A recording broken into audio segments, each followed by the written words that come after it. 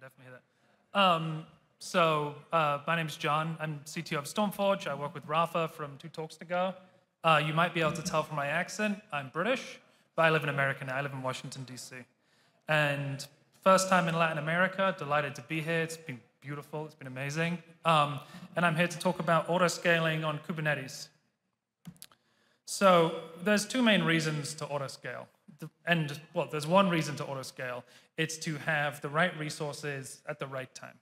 And there's two ways you can miss on that front. You could have too few resources, in which case you will be unreliable, and that's obviously terrible. And then um, the other way you could miss is you could have too many, and then you barely use any of them, and it will be inefficient, expensive, um, which is still still better than um, being unreliable, which is why people typically just over provision everything, and the average efficiency of a Kubernetes cluster is 20%.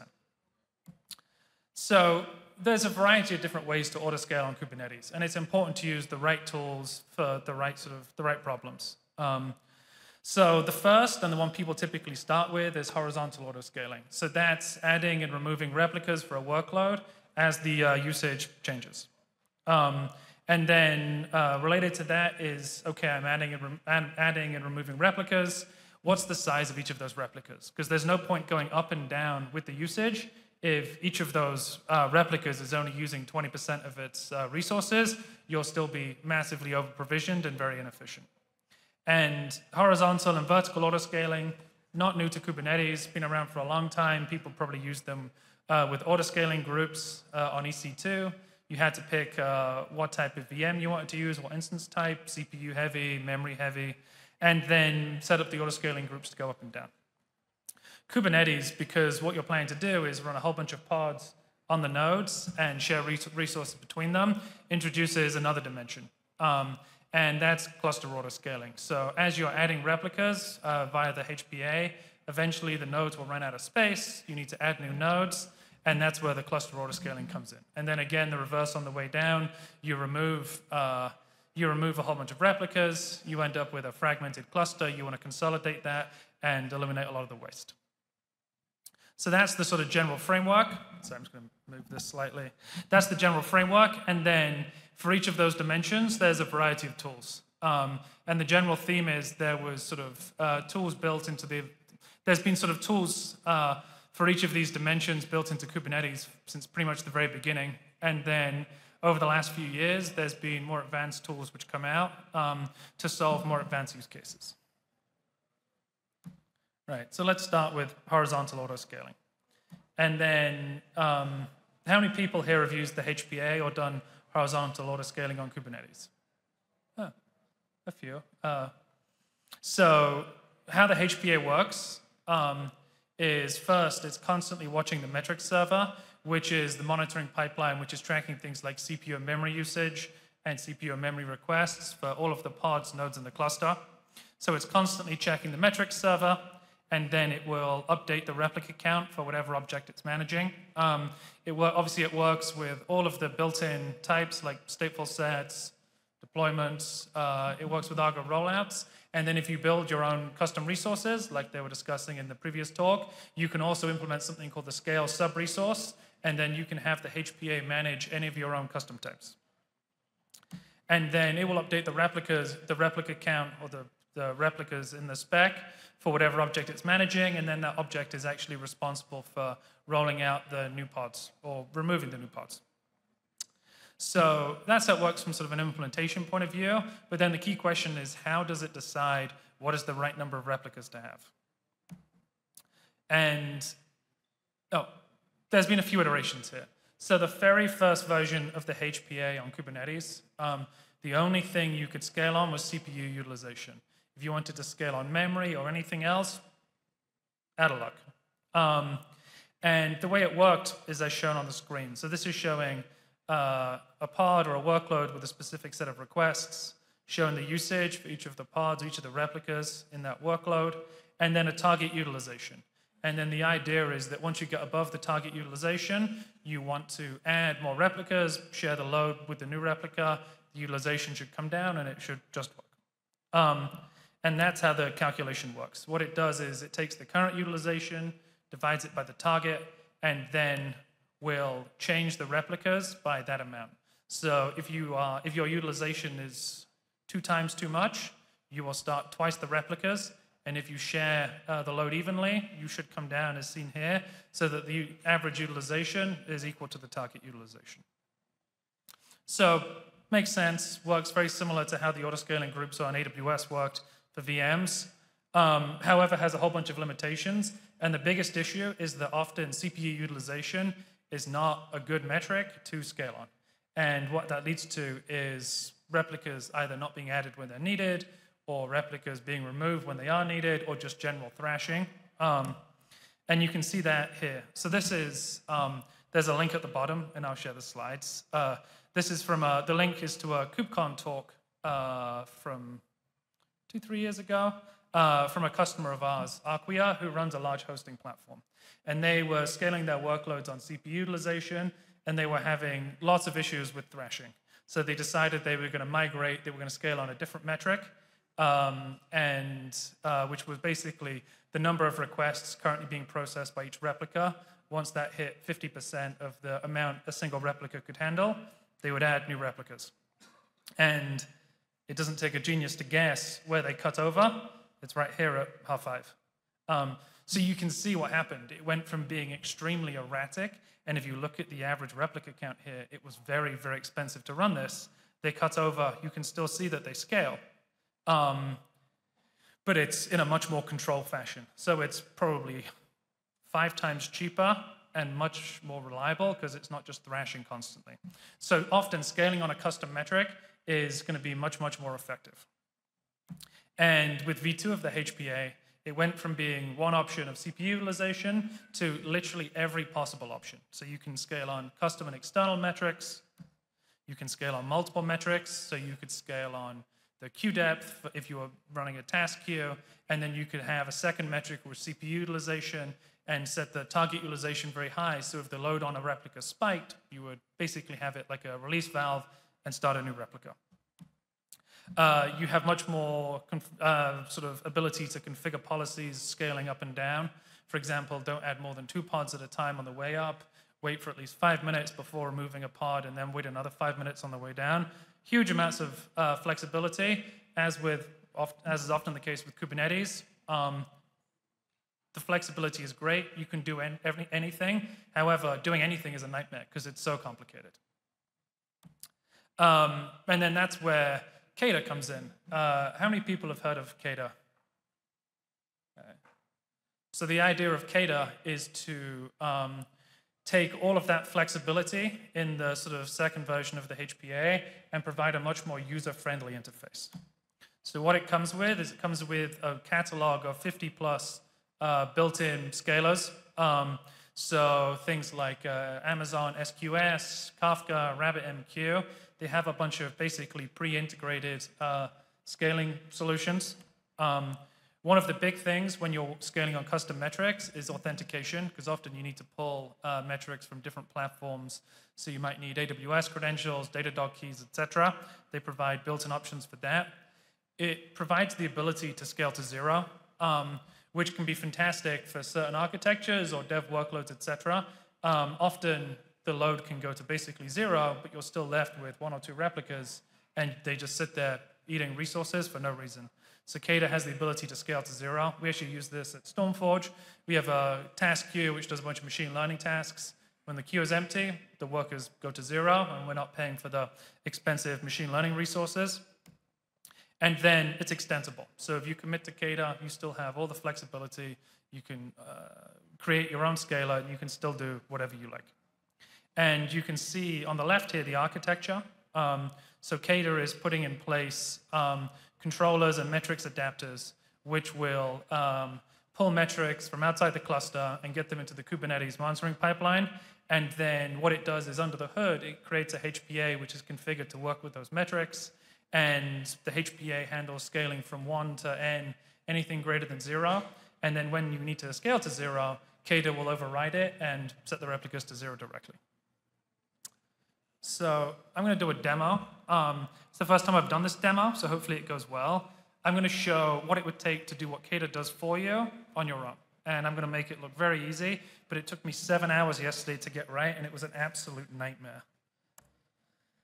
Hey, so um, let me make this a little bigger.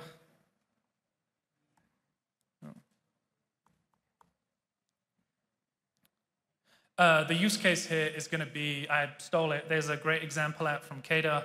It's going to be um, a RabbitMQ queue where there's a job which has tasks to the queue, and then a consumer which picks them up and does nothing. It just sleeps. And um, let's see. So first, I'm going to install Prometheus. So um, Prometheus is going to store all of the metrics uh, um, required to basically monitor the length of the queue, etc. If you were scaling on CPU utilization, there would not be no need to install Prometheus um, because Kubernetes handles the whole monitoring pipeline for resource utilization metrics. All right, let's give this a second.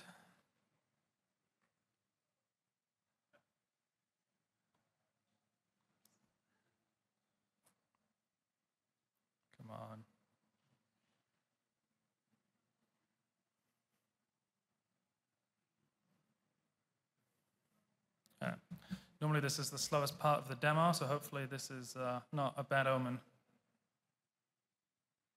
There we go, perfect. Right. So we have Prometheus installed. Uh, it's in the monitoring namespace. And you can see installed all of the usual things. There's the Prometheus operator, Grafana, Prometheus itself, the node exporter. We don't need all this. I just didn't want to mess with all the configuration. So next, RabbitMQ. And then we're going to use the Helm chart. This is the first thing, which took a bunch of time to try and figure out, getting all of the metrics exposed um, and the service monitors set up so that it will, uh, Prometheus will detect them, ingest the metrics, etc.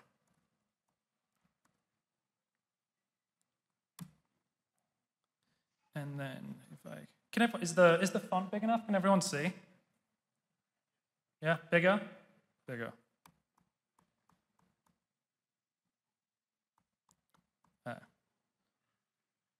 Better? Uh, perfect.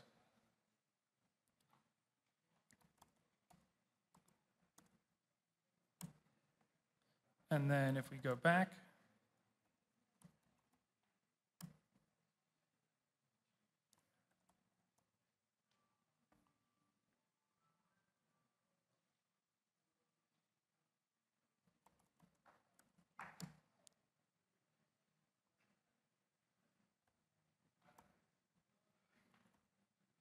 There we go.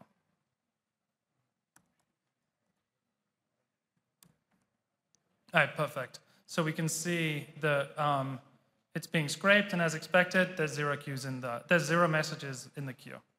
So now let's start um, adding messages to the queue, scaling it up, and see if it scales. And first, um, so first we're going to deploy the consumer. And then I have, um, I have a horizontal pod autoscaler, which is set to scale on CPU. So this is the one that everyone starts with, the only thing available in V1, and it's set to scale up at 60%. So we create that, and then we can um, Uh, this is a job which will add a lot of tasks to the queue. So if we go back, um, we can see the HPA. And um,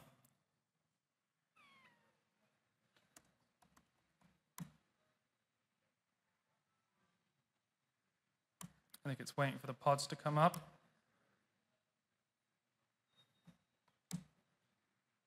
There we go. So you can see that the actual CPU utilization, because the task just sleeps when it picks it up, this would be like something which makes a network call and just waits. You may be trying to do a lot of those, but because it produces no utilization, it's a terrible metric to scale on. And if we go back here, you should see a big spike in the queue, in the queue and it's coming down very slowly. Um, so obviously CPU utilization here makes no sense to scale on. However, um, uh, what would make much more sense is the queue depth. So now let's see if we can, um, while it's pulling through those, what it looks like to uh, scale on the queue depth. So the first thing you have to do, we have Prometheus stood up. It's pulling all of the metrics, um, scraping them. We need to find a way to get those out of Prometheus and into the Kubernetes API so they can be used. And the way that's done is using this thing called a Prometheus adapter. And you can see here, um, you have to tell it what the URL for Prometheus is. And then there is this rules format, which took me forever to figure out. And I basically never did. I just managed to hardcode the metric names. What this is doing is trying to provide that translation from how the metrics in the other platform, so in this case Prometheus, it could be Datadog, are being labeled, how they are associated with pods namespaces, and rewrite the whole thing, and then say which one should be regularly scraped and sent to the custom metrics. Okay. So we're going to install that, and then um, that should provide the plumbing so that it's going to pull the queue depth from Prometheus, which we just saw in the dashboard. It's going to put it into the custom metrics API. Um, they have this cheat, which I love, uh, kubectl get dash dash raw. It lets you send requests directly from kubectl, like HTTP requests to the API, so you can debug. Um, and you can see here, uh, it's trying to go to the custom metrics API and see what is available. And while the metric server is, or while the Prometheus adapter is coming up, it doesn't return anything. But if we give it a second, as expected, uh, our queue messages depth is there. Um, and this was another thing which took me forever to get right. Uh, the initial version, the out-of-the-box version, the Prometheus adapter, the load of the metrics was too high for the API server, so it just rejected everything. So I had to rewrite it to like make it a little bit uh, smoother. Um, and then, um, let's see. So we'll delete the old HPA. And then now we can see, so we've plumbed, all of the metrics are in the API. And then you go in and you create a uh, HPA with a custom metric. And here you can see the type of the metric is object. So the reason it's object is because I'm scaling one workload on metrics from another workload. So the consumer workload, the deployment, is being scaled on metrics coming from the RabbitMQ stateful set, because that's where the queue depth um, is being tracked. So as I said before, super flexible. It just took a long time to get right. And then if we apply that, um, and then let's go back and look, had it finished with the queue? It almost finished with the queue. I suspect what's going to happen is this is suddenly going to start adding replicas. Uh, let's just.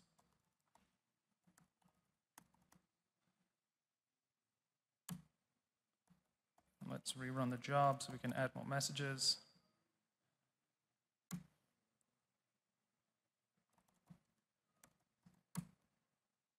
And now you can see that um, the HPA is going to start scaling up because the target queue depth is 5 per pod. It's 56 right now because we just added way more messages to the queue. Hopefully, the number of pods should be going up fairly rapidly.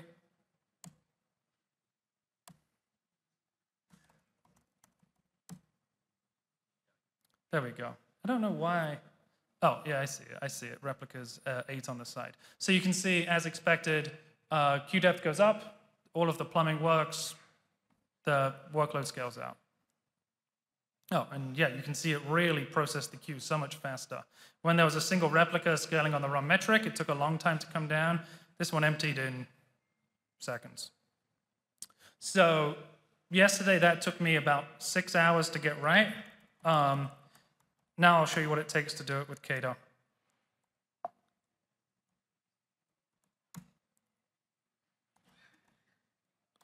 So first you have to install KEDA, simple Helm install. And then the whole point of KEDA is that it just comes with all of these, all of this plumbing is just done for you. There's no adapter, there's no anything. It just puts the metric where it needs them, and it's all basically pre-integrated.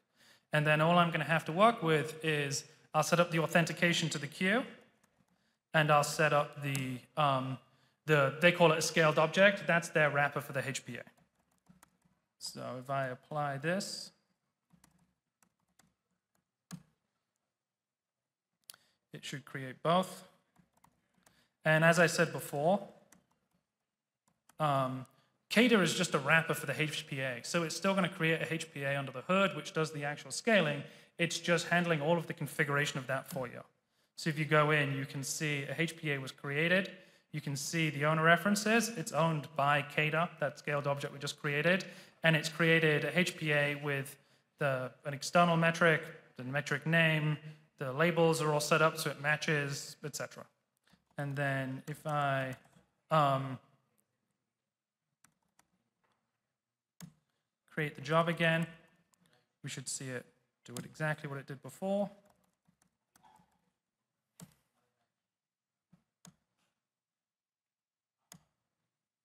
So it's going to scale up, and it should start adding more replicas.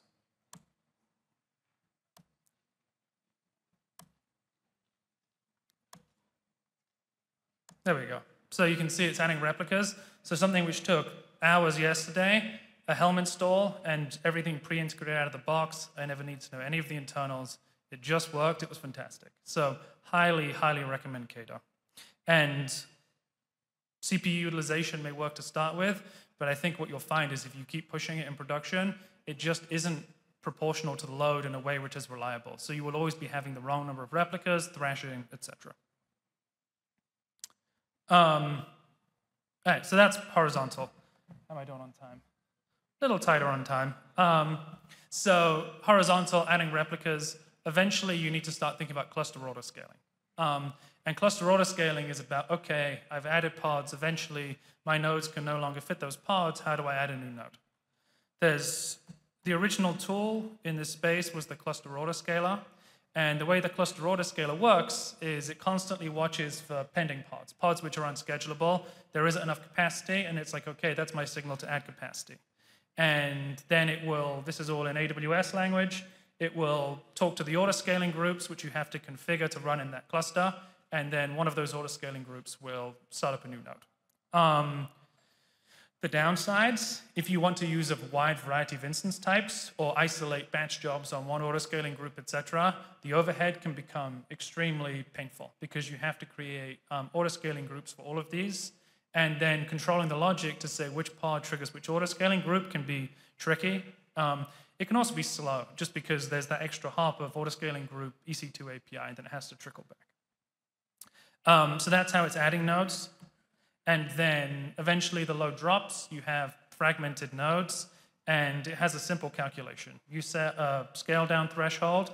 Once the capacity on that node or the allocated um, resources on that node drops below the threshold, it'll say, okay, that node is too empty. I'm going to uh, get rid of it. So you can see here it'll be this one and this one.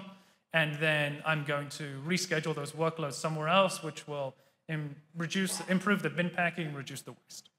And you have lots of flexibility to configure the cluster autoscaler. You can also hard code labels and annotations on nodes so that they don't get uh, consolidated. Um, lots of flexibility. And what you can see here is, as you would expect, shut down the underutilized nodes, reassign the workloads, bin packing goes up, efficiency goes up. So it works, and, but it has a whole bunch of drawbacks which is why AWS released a new open source project uh, two, three years ago to basically address a lot of those problems. We work with Karpenter with our customers all the time. We use it ourselves internally. It's amazing. Um, however, I'm going to say almost nothing about it because Herbert is talking about it in way more detail, I think in about half an hour in the same room.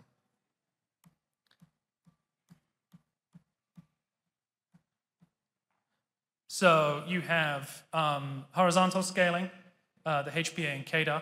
You have cluster scaling. Karpenter's amazing, fast, reliable. Um, it can work well with spot instances.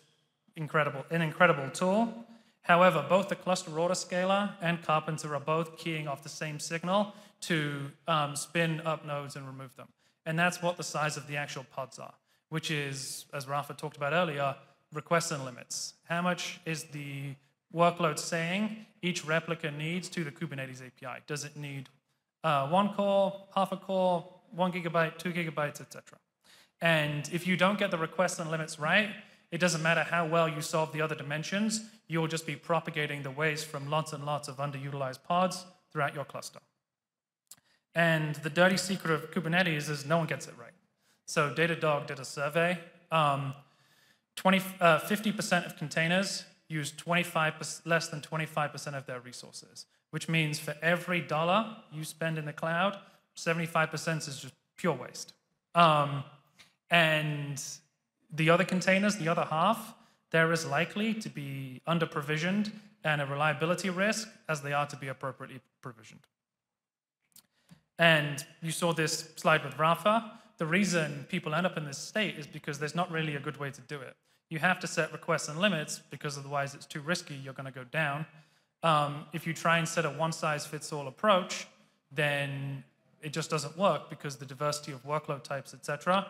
Um, this is how you end up. I always joke, people will start t-shirt sizing, small, medium, and large. Then they ask their developers what size they need, and every developer says extra large, which is how they end up with massive over-provisioning. And then eventually it becomes too wasteful, um, and then you try and do it manually, and you realize that providing the tooling, the education to get developers to try and do this for hundreds, thousands of workloads, it's going to burn more engineering time and money and frustration than it will actually um, save you in cloud costs. So no one really has an answer to this, um, which is, no one has a manual answer to this. And there is a tool to automate this problem built into Kubernetes, the vertical pod autoscaler, the VPA. Um, unlike the HPA and the cluster autoscaler, it's never really got a lot of adoption. Um, the same Datadog survey found that 60, 70% of people were using the HPA, 1% of people were using the VPA. It's basically never really been seriously used in production. Um, and there's a variety of reasons. One is that it has a tendency to fight the HPA because they're both looking at CPU utilization. Uh, the way it rolls out changes are a little problematic because um, it evicts the pods, which can cause disruption. If you have two replicas and you evict a pod, you lose half your capacity at what could be a terrible time to lose it. If you have one replica, you are just down until the pod comes back up. Um, and it has a wide variety of other quirks about configuration, which makes it hard, etc. So the VPA isn't really a sort of great solution. Um, Stormforge, my company, we sort of step in, provide the exact same functionality as the VPA, um, just with a lot of the uh, kinks worked out. We're compatible with the HPA, easy to configure. We're a little bit more careful about how we roll out patches. Um, there's less overhead to run all the metric servers, etc., for the VPA. Um, and you can basically just forget about the problem. Install and uh, let uh, machine learning set the requests and limits way better than your developers ever did to begin with. Um, I think that's time, almost perfect. Um, uh, please, please click the QR code, mostly because Rafa stole my joke that we had a competition, and he got five, and I want more than five. Um, and come find us in the break or at the happy hour if you want to chat about any of the tools KEDA, Karpenter, our tool, requests and limits, anything. We're around.